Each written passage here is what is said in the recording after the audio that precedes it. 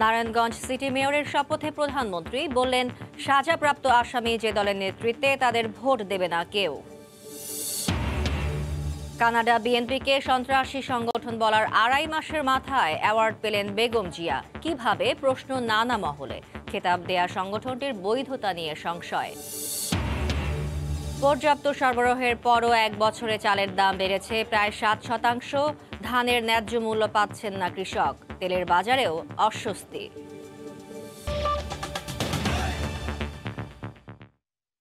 সংবাদে সঙ্গে আছি আমি ফারজান। নারায়ণগঞ্জ সিটি কর্পোরেশনে শান্তিপূর্ণ ভোটের দৃষ্টান্ত স্থাপিত হয়েছে জানিয়ে প্রধানমন্ত্রী শেখ হাসিনা বলেছেন, সেখানে গণতন্ত্রেরই জয় হয়েছে। তিনি জানান, নির্বাচনে অবিশ্বাসী বিএনপি অরাজকতা করতে পারছে না বলেই অহেতুক সমালোচনা করে। সকালে গণভবন থেকে ভার্চুয়ালি নারায়ণগঞ্জের নবনির্বাচিত মেয়র ও কাউন্সিলরদের শপথ অনুষ্ঠানে বক্তব্য রাখেন প্রধানমন্ত্রী। বিএনপির কর্মকাণ্ডের কড়া নিন্দা জানিয়ে সরকার প্রধান বলেন সাজাপ্রাপ্ত আসামিদের নেতৃত্বের কারণেই তাদের ভোট দেবে না মানুষ। সশ্রদ্ধ চিত্তে শপথ করিতেছি যে নারায়ণগঞ্জ সিটি কর্পোরেশনের ষোলো জানুয়ারির নির্বাচনে বিজয়ী হবার পর আনুষ্ঠানিকভাবে দায়িত্ব বুঝে নিতেই শপথ। বুধবার সকাল দশটায় রাজধানীর ওসমানী স্মৃতি মিলনায়তনে আয়োজিত শপথ অনুষ্ঠানে গণভবন থেকে ভার্চুয়াল মাধ্যমে যুক্ত ছিলেন প্রধানমন্ত্রী। অনলাইনে শপথ বাক্য পাঠ করান নারায়ণগঞ্জের মেয়র ডাক্তার সেলিনা হায়াত আইভিকে।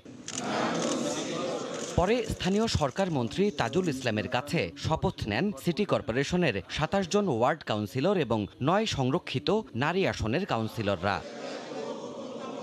অনুষ্ঠানে প্রধানমন্ত্রী বলেন, নির্বাচিত প্রতিনিধিদের জনগণের প্রতি দেয়া ওয়াদা রক্ষা করে চাওয়া পাওয়ার ঊর্ধ্বে উঠে কাজ করতে হবে। আপনারা উন্নয়নের ধারাটা অব্যাহত রাখবেন। মানুষের কাছে যে ওয়াদা দিয়ে ভোট নিয়েছেন, সে ওয়াদা কখনো ভুলবেন না। অবাধ, সুষ্ঠু, নিরপেক্ষ নির্বাচন করে করার ক্ষেত্রে আপনারা বলিষ্ঠ ভূমিকা রেখেছেন। জনগণ তার ভোটের অধিকার প্রয়োগ করতে পেরেছে গণতন্ত্রের জয় হয়েছে সেখানে এটা আমি মনে করি। এই নারায়ণগঞ্জের একটা বিরাট দৃষ্টান্ত স্থাপন হলো যদিও আমাদের বিরোধী দল অনেক অপপ্রচার চালায় কিন্তু তারা কখনো আয়নায় নিজের চেহারা দেখে না। আওয়ামী লীগ গণতন্ত্রে বিশ্বাসী উল্লেখ করে শেখ হাসিনা বলেন বিএনপি মানুষের অধিকার ও সুষ্ঠু নির্বাচনে আস্থা পায় না। জনগণের কাছে যে ভোট চেয়ে নেওয়ার কোনো অভ্যাসই তাদের ছিল না বরং কেড়ে নেওয়া চুরি করাই তাদের অভ্যাস ছিল। কাজে তারা গণতন্ত্রের অর্থ বোঝে না, জনগণের অধিকারের অর্থ তারা বোঝে না। তারা মানুষ হত্যা করতে পারে, হাত কাটতে পারে, চোখ কাটতে পারে, মানুষের ঘর বাড়ি দখল করতে পারে, এগুলি তারা পারে। যে সেই সুযোগটা পাচ্ছে না বলেই বোধ তাদের বেশি আক্ষেপ। তারা আসলে নির্বাচনই চায় না, তারা নির্বাচনের অর্থ বোঝে না। ভোট চুরি করতে জানে, কিন্তু জনগণের ভোট নিতে জানে না। সাজাপ্রাপ্ত আসামি হয়েও সরকারের দয়ায় বেগম খালেদা জিয়া বাসায় থাকার সুযোগ পাচ্ছেন জানিয়ে প্রধানমন্ত্রী প্রশ্ন তোলেন কেন মানুষের সমর্থন পাবেন তারা? বিদেশে থেকে একজন সাজাপ্রাপ্ত আসামি যে দলের চেয়ারপারসন হয় চেয়ারম্যান হিসেবে দায়িত্ব পালন করে যে সাজাপ্রাপ্ত আসামি আবার ফিউজিটিভ। তো সেই দলকে জনগণ কেন ভোট দেবে? সেই দল ভোটের আশা করে কীভাবে? উন্নয়নের ধারা বজায় রাখতে জনগণের ওপর থেকে আওয়ামী লীগ আস্থা হারায়নি বলেও জানান সরকার প্রধান। এবং জনগণ কখনো ভুল করে না। এটা হলো বাস্তবতা। দেবাশিস রায় সময় সংবাদ ঢাকা।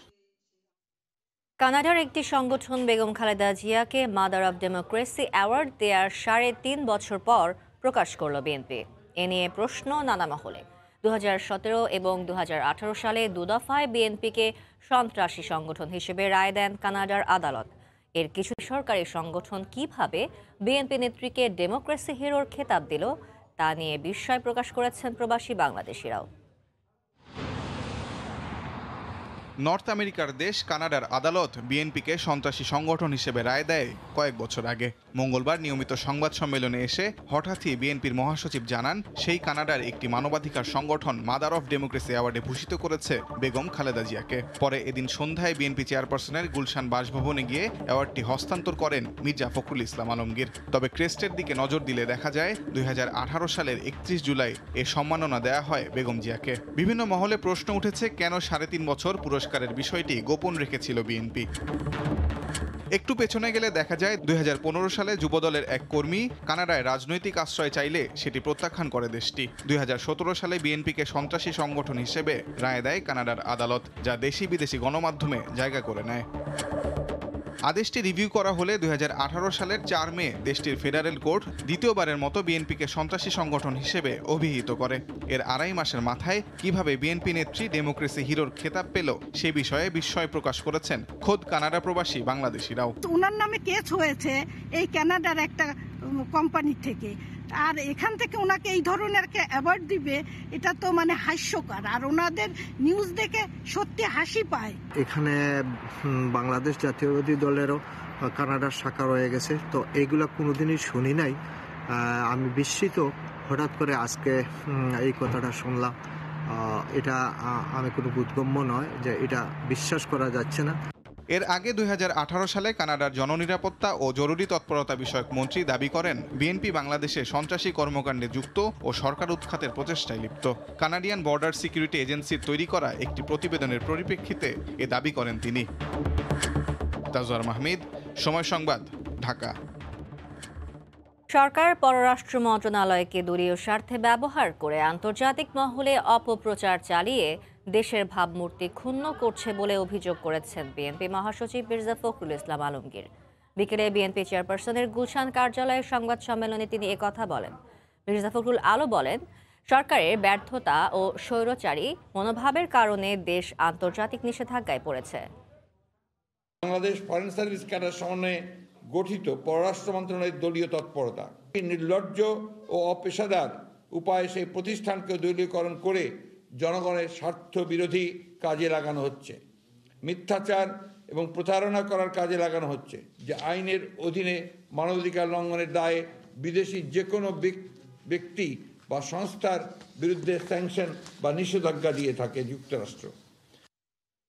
বিএনপির নিয়োগ দেয়া লবিস্ট ফার্মের পক্ষ থেকে দলটি বেগম জিয়ার জন্য মাদার অফ ডেমোক্রেসি পদকের সনদ কিনেছে বলে মন্তব্য করেছেন তথ্যমন্ত্রী ডক্টর হাসান মাহমুদ। দুপুরে সচিবালয়ে সাংবাদিকদের তিনি বলেন, সাড়ে তিন বছর আগে কেনা এই পদকের মধ্য দিয়ে বেগম জিয়াকে হাস্যকরভাবে উপস্থাপন করা হয়েছে। যেভাবে সাড়ে তিন বছর পরে হঠাৎ বিএনপি নেতৃবৃন্দ আপনার গণমাধ্যমের সামনে এসে এই কথাগুলো বলল। পুরো বিষয়টা হাস্যস্কর এব- বেগম খালেদা জিয়াকে কি একজন লাফিং স্টক হিসেবে বানিয়ে দেওয়া হয়েছে এখানে। আপনারা জানেন যে কানাডার ফেডারেল আদালত বিএনপিকে একটি সন্ত্রাসী সংগঠন হিসেবে রায় দিয়েছিল। এবং সেখানে এটাও উল্লেখ করেছিল যে বিএনপি যেভাবে জ্বালাও পোড়াও করেছে, মানুষ পুড়িয়েছে সুতরাং এই সংগঠনটি ভবিষ্যতে এরকম করতে পারে, সুতরাং এই সংগঠনটি একটি সন্ত্রাসী সংগঠন। ধানের ভরা মৌসুমেও দফায় দফায় বাড়ছে চালের দাম। সরবরাহ স্বাভাবিক, তারপরও এক বছরে চালের দাম বেড়েছে প্রায় সাত শতাংশ। এতে নাভিশ্বাস উঠেছে ভোক্তার। দাম বাড়ার সঠিক কারণ জানা না থাকলেও খুচরা ও পাইকারি বিক্রেতারা দায় চাপাচ্ছেন মিলারদের ওপর। অর্থনীতিবিদরা বলছেন মিলাররা সরবরাহ কমিয়ে দাম বাড়াচ্ছে কিনা খতিয়ে দেখে ব্যবস্থা নেওয়া প্রয়োজন। বাহাত্তর টাকার উপরে চলে যাচ্ছে পার কেজি যেটা আমাদের জন্য আসলে খুব কষ্টসাধ্য হয়ে যায়। প্রত্যেকটা জিনিসের দাম বেশি। আমরা পারতেছি না যে এটা বাদ দিতে কারণ চাল না খেয়ে তো থাকা যাচ্ছে না। ব্যাখ্যাটা কি করতে পারে না যে কেন চালের দামটা বাড়ছে। চালের বাজারে এসে দামের কাছে ভোক্তাদের অসহায় হয়ে পড়া নতুন কিছু নয়। দায় চাপানোর সংস্কৃতিতে বিক্রেতারা জানালেন দামের বৃদ্ধিতে বিনিয়োগ বাড়ানো সহ তাদেরও পোহাতে হচ্ছে নানা ভোগান্তি। আমরা বেশি দামে কিনি বেশি দামে বেচতে হবে। সরকার তো অন্য কোনো জায়গা থেকে সরবরাহ করতেছে না। এই জন্য মিলাররাও কিছুটা সুযোগ নিচ্ছে। টাকা ইনভেস্ট বেশি লাগতেছে আরেকদিকে হলো আমার মানে কাস্টমারের সাথে কম বেশি বাদ বিতণ্ডে জড়াতে হচ্ছে। এলসি না ঢোকা পর্যন্ত বাজার নিয়ন্ত্রণ আসবে না। সরকারি গুদামে বর্তমানে বিশ লাখ মেট্রিক টনের বেশি চাল মজুদ থাকার পরও দাম ঊর্ধ্বমুখী হওয়ায় বেশ কয়েকদিন ধরেই ক্ষুব্ধ খাদ্য মন্ত্রণালয়। বাণিজ্য মন্ত্রণালয়ের দৈনিক বাজার দরের হিসাব বলছে, বছর ব্যবধানে সরু চালের দাম শতকরা প্রায় সাত শতাংশ ও মোটা চালের দাম বেড়েছে সাড়ে চার শতাংশ। তবে মূল্যস্ফীতি সহ সরকারের রাজস্ব নীতিতেই রয়েছে, এবছর পণ্যের দাম বাড়বে পাঁচ দশমিক তিন শতাংশ। বাজারে সরবরাহ বেশি থাকলে ব্যবসায়ীদের কারসাজি কমে যায়, উল্লেখ করে অর্থনীতিবিদরা বলছেন, বর্তমান বাজার প্রেক্ষাপটে দাম আরও বৃদ্ধির প্রত্যাশায় ব্যবসায়ীরা সরবরাহ কমিয়ে দিয়েছে কিনা তা খতিয়ে দেখতে হবে। উচ্চ প্রবৃদ্ধি এবং কর্মসংস্থানের জন্য মুদ্রা বাজারে আমরা যে মুদ্রা সরবরাহ বাড়াই, সে কারণে কিন্তু দাম বাড়ছে। অতিরিক্ত সরবরাহ থাকে, তাহলে তার অপরচুনিটি বা সুযোগ সেটা ভোক্তা নেবে। আর যখন ঘাটতি থাকবে, তার সুযোগ যারা বিক্রেতা তারা নেবে। এটাই আপনার বাজারের ধর্ম। সুযোগ সন্ধানী তাদের যে ব্যবহার বিহেভিয়ারটা যেটা, আচরণ, সেটাকে কাউন্টার দেওয়ার জন্য সরকারের পলিসি থাকতে হবে। নিজে কিছু সরবরাহ থাকা উচিত, আবার কিছু পলিসিগত চেঞ্জ থাকা আনা- উচিত। অনেক সময় আমরা দেখি যে চালের দাম বেড়ে গিয়েছে তখন আপনার কী হলো? শুল্কটা শুল্কটা কমায় দেওয়া বাজারে পণ্য সরবরাহে যত বিকল্প পথ সরকারের হাতে বেশি থাকবে, বাজার অস্বাভাবিক হয়ে ওঠার প্রবণতা ততই কমে আসবে বলেও জানান বাজার বিশ্লেষকরা। কামরুল হাসান, সবুজ, সময় সংবাদ, ঢাকা। ভোজ্য তেলের বাজারে চলছে চরম অস্থিরতা। গত তিন মাসের বেশি সময় ধরে দেশে এ অবস্থা বিরাজ করছে। পরিস্থিতি নিয়ন্ত্রণে সরকারের নানা উদ্যোগেও কোনো কাজ হচ্ছে না। ভোজ্য তেলের দাম গত কয়েক বছরে সর্বোচ্চ পর্যায়ে পৌঁছেছে। খুচরা পর্যায়ে সর্বাধিক একশো আটষট্টি টাকা লিটারে বিক্রি হচ্ছে, বিস্তারিত ফেরদৌস লিপির রিপোর্টে। সম্পূর্ণ আমদানি নির্ভর দেশের ভোজ্য তেলের বাজার প্রতিদিনই অনিয়ন্ত্রিত হয়ে পড়ছে। আর এজন্য উৎপাদনকারী দেশগুলোতে করোনার কারণে শ্রমিক সংকট ও তেল উৎপাদনের ঘাটতিকে দায়ী করছেন ব্যবসায়ীরা। সর্বশেষ তথ্য অনুযায়ী আন্তর্জাতিক বাজারে প্রতি মেট্রিক টন সয়াবিনের বুকিং রেট ধরা হয়েছে এক হাজার চারশো ষাট মার্কিন ডলার আর পাম অয়েল এক হাজার চারশো সত্তর মার্কিন ডলার। এই ক্ষেত্রে সয়াবিনের বুকিং রেট দুই দিনের ব্যবধানে প্রতি মেট্রিক টন দশ ডলার কমলেও পঞ্চাশ ডলার বেড়েছে পাম অয়েলের দাম। তবে লোকসানের ভয়ে অনেক আমদানিকারক তেল আমদানি করছে না বলে দাবি ব্যবসায়ীদের। এইটা ওয়ার্ল্ডে আমরা উৎপাদন কম হচ্ছে এক্সপোর্ট কমা দিছে। স্টক কমে গেছে ওয়ার্ল্ডে এবং শ্রমিকের স্বল্পতা। আমদানি করার পরে আপনার ধরে করেন এলসি করার পরে মাল আসবে ওটা আস্তে আস্তে দেখা যায় যে বাজার এখানে ফল করে ফেলে। ওই ওই ভয়ে অনেকে মাল ইম্পোর্ট করতে চাচ্ছেন আর কি। পাইকারি পর্যায়ে প্রভাব পড়তে শুরু করেছে খুচরা বাজারেও। এক সপ্তাহের ব্যবধানে এখানে লিটার প্রতি আট টাকা পর্যন্ত দাম বেড়েছে। এছাড়া বোতলজাত তেল সরবরাহ কমিয়ে দিয়েছে পরিবেশকরা। ফলে সংকট তৈরি হচ্ছে বাজারেও। দফায় দফায় নিত্য এই পণ্যটির দাম বাড়ায় ক্ষোভ প্রকাশ ভোক্তাদের। কঠোর মনিটরিংয়ের দাবি তাদের। গত সপ্তাহ ছিল সাতশো দশ এবং পনেরো। পাঁচ লিটার যেটা এই সপ্তাহ ওটা সাতশো চল্লিশ টাকা। আগে আমরা ধরেন পাঁচ লিটার একসাথে কিনতাম এখন আমরা ওভাবে কিনি না। এক লিটার করে কিনি। এরকম বাড়তে থাকলে আমরা যে নিম্ন মধ্যবিত্ত না আমরা মোটামুটি মিডিয়াম ফ্যামিলির তা আমরা তো চালাই নিয়ে যেতে পারব না। এসব ব্যাপারে সরকারের একটু সবসময় একটা দৃষ্টি থাকা দরকার। বর্তমানে দেশে বছরে বাইশ থেকে পঁচিশ লাখ মেট্রিক টন ভোজ্য তেলের চাহিদা রয়েছে বলে জানান ব্যবসায়ীরা। ফেরদুস লিপি সময় সংবাদ চট্টগ্রাম।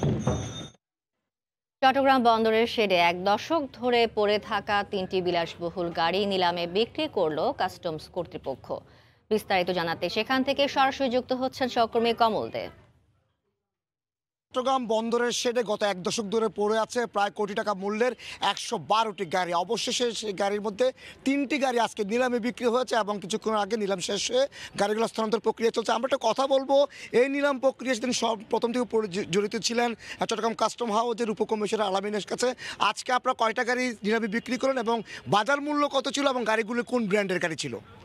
আজকে আমরা তিনটা গাড়ি ডেলিভারি দিয়েছি এবং এই তিন, তিনটা গাড়ির মধ্যে দুটো হচ্ছে বিএমডাব্লিউ গাড়ি এবং একটা হচ্ছে টয়োটা ল্যান্ড ক্রুজার এবং এগুলোর দাম বেশ ভালোই ছিল। একটা ছিল পঞ্চাশ লক্ষ টাকা বিএমডব্লিউ আর একটা বিএমডব্লিউ ছিল পঞ্চান্ন লাখ টাকা এবং আরেকটি বিএম আরেকটা ল্যান্ড ক্রুজার ছিল একচল্লিশ লক্ষ টাকা।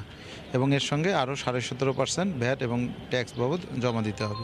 আরও প্রায় একশো নয়টি গাড়ি তো রয়ে গেল। সেই গাড়িগুলো কখন বিক্রি সেগুলো কি আমাদের রাজস্ব হারাচ্ছে না বা সরকার টাকা নষ্ট হচ্ছে না? সেগুলো খুব দ্রুততার সঙ্গে নিলামের ব্যবস্থা করা হবে এবং এবং এই নিলামের প্রক্রিয়ার সঙ্গে আমরা সকলে জড়িত আছি এবং খুব শীঘ্রই এই ওই বাকি গাড়িগুলোরও নিলাম সম্পন্ন হবে বলে আমরা আশা করছি। হ্যাঁ ধন্যবাদ। আমরা কথা বলছিলাম চট্টগ্রাম কাস্টম হাউসের উপকমিশনার যিনি এই নিলাম প্রক্রিয়ার প্রথম থেকে জড়িত ছিল এবং যার তত্ত্বাবধানে আজকে তিনটে গাড়ি নিলামে স্থানান্তর করা হয়েছে এবং গাড়িগুলোর বাজার মূল্য দুই কোটি টাকার বেশি হলো। আমরা দেখেছি গাড়িগুলো বিক্রি হচ্ছে প্রায় পঞ্চাশ থেকে ষাট লাখ টাকা মূল্যে।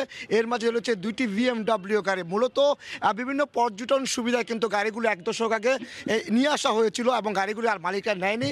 এরপরে চলছিল নিলাম প্রক্রিয়া, কিন্তু বারবার সেই নিলাম প্রক্রিয়া নানা কারণে ভেস্তে গেছে বা নিলাম প্রক্রিয়া বিক্রি করা যায়নি। সেটা এই নিলামের মাধ্যমে তিনটে গাড়ি বিক্রি সম্ভব হচ্ছে এবং তার পুরো তত্ত্বাবধান করেছেন যে আমি যে কথা বলছিলাম, যার কথা উপকমিশনার আলামিনের সাথে, সে আলামিনের কিন্তু তত্ত্বাবধানে আজকে তিনটে গাড়ি বিক্রি হচ্ছে এবং তবে আশা কিছুক্ষণ আগে কাস্টম কমিশনার ফখরুল ইসলাম আমাদেরকে যেটি জানিয়েছেন, তারা আশা করছেন হয়তো আগামী কয়েকদিনের আগামী সময়ের মধ্যে বাকি যে গাড়িগুলো রয়েছে, সেই গাড়িগুলো হয়তো পর্যায়ক্রমে বিক্রি আমরা আবার আরেকটু কথা বলে আলামিনের সাথে আপনার কাছে জানতে চাইব যে বাকি গাড়িগুলো রয়েছে সেই গাড়িগুলো যারা ক্রেতারা বলছেন, তারা বলছেন এগুলি অনেক দামি গাড়ি কিন্তু বাজার মূল্য আগের মতো নেই। তারপর আপনারা কম দামে বিক্রি করছেন না কেন?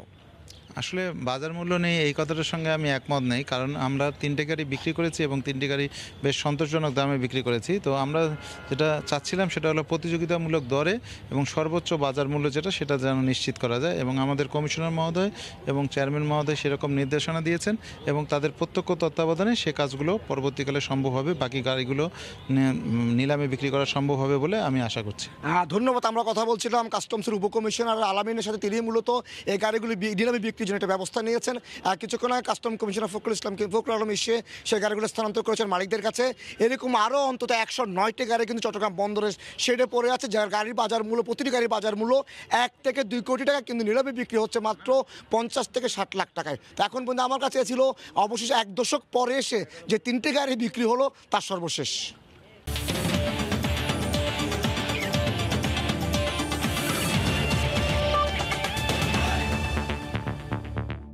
বাংলাদেশ জাতীয় ক্রিকেট দলের দক্ষিণ আফ্রিকা সিরিজের সূচি চূড়ান্ত করেছে দেশটির ক্রিকেট বোর্ড। আঠারো মার্চ শুরু হবে তিন ম্যাচের ওয়ানডে সিরিজ। আফগানদের বিপক্ষে ওয়ানডে ও টি টোয়েন্টি সিরিজ শেষেই দক্ষিণ আফ্রিকা সফরের প্রস্তুতি শুরু হবে টাইগারদের। এরই মধ্যে ওয়ানডে এবং টেস্ট সিরিজের সূচিও চূড়ান্ত করেছে দক্ষিণ আফ্রিকার ক্রিকেট বোর্ড। তিন ম্যাচ ওয়ানডে সিরিজের প্রথম ম্যাচ হবে আঠারো মার্চ সেঞ্চুরিয়ানে।